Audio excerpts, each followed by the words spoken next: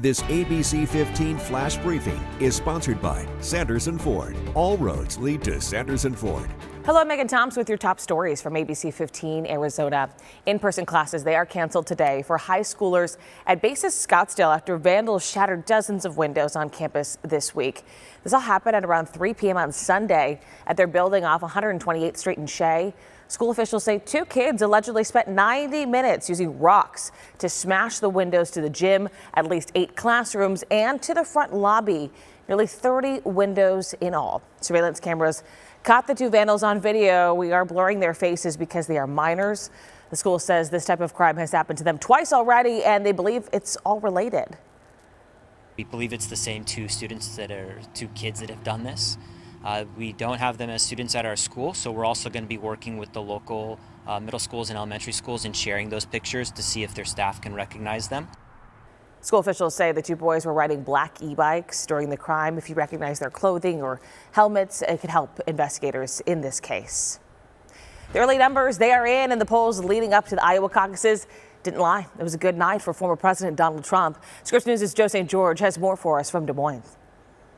In the end, former President Donald Trump did what the polls predicted he would in the state of Iowa win his first political victory since he lost the 2020 election. The victory further cementing his frontrunner status for the Republican nomination. I would like a win so big um, that, frankly, everybody realizes the race is over and we can start kind of, you know, taking the fight to, to, Joe Biden. It's too early to say who else has momentum coming out of Iowa other than Trump. Nikki Haley and Ron DeSantis both battling for second place and now reviewing what is working in their campaign and what is not. This is your chance to show the power of your voice. And this is your chance to lead the way to get our country back on track. 40 delegates to the Republican National Convention were up for grabs in Iowa. Those delegates will now be divided among all the candidates, with the winner getting the most. The campaign's now quickly focusing on New Hampshire, which is next up on the political calendar. The leading candidates will be on the ground in that state by Tuesday night. The New Hampshire primary is a week from Tuesday, on January 23rd. Joe St. George, Scripps News, Des Moines. And looking ahead in the race for the White House, we have learned Donald Trump will be in Arizona later next week. If you feel like you're spending a small fortune to feed your family, you are not alone. New research from Help Advisor found the average household spends more than $1,000 per month on groceries. Arizona was no exception. People here are spending an average of $271 per week on groceries. This winter hasn't been as snowy as last year's, but there is some optimism on the slopes of the White Mountains. Sunrise Park Resort in Greer has picked up 68 inches of natural snowfall so far, which is a bit below average and well below the amount they got last winter. It's not ideal, but Sunrise has been investing in infrastructure snowmaking machines, lift overhauls, and an extensive remodel of the lodge. They say the $10 million they've spent over the past three years is already paying dividends.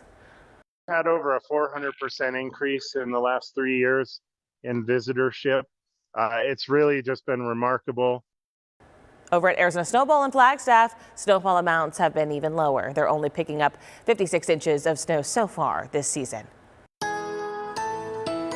Time now for that most accurate forecast. I'm meteorologist Iris Hermosillo. Get ready for a gorgeous day. It's going to be a little warmer too. That temperature could hit 70 for the first time this year. Phoenix will briefly reach the 70s, it looks like. We'll be into the low 60s by lunchtime today, and then that high peaks by the middle of the afternoon with temperatures right back into the mid 60s by 6 p.m. as we head to just sunset and beyond it. So cooling off nicely this evening, a great day to be outside. And that'll be the case across northern Arizona too, with highs in the 40s to 50s up north, 49 for Flagstaff, 56 for Payson. We are going to stay dry through the weekend. We get warmer as high pressure builds in. Mid to upper 70s for highs by Thursday and Friday, 50s in the high country through the end of the week. And then you'll notice those temperatures start to come down this weekend with highs falling into the upper 60s by Sunday here in the valley as rain chances go up Sunday and Monday of next week. And we're also going to see a better chance for snow in the high country as early as Sunday, but continuing through early next week as well.